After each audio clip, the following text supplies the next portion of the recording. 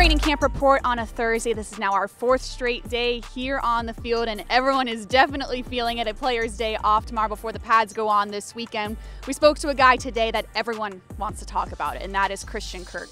Head coach Doug Pederson calling him a quiet leader who has been at every single offseason workout, 100% attendance from Christian Kirk. And today was the first day of red zone. I will say it was a bit of a struggle for the offense to find their timing, and Christian Kirk explains why.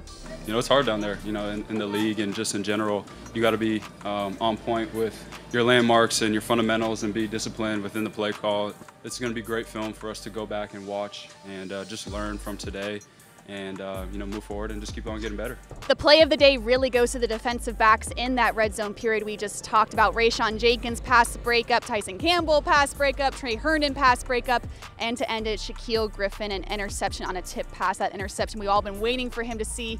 He gets it here in training camp. So a great day for the defensive backs. That is your training camp report presented by Dreamfinders Homes.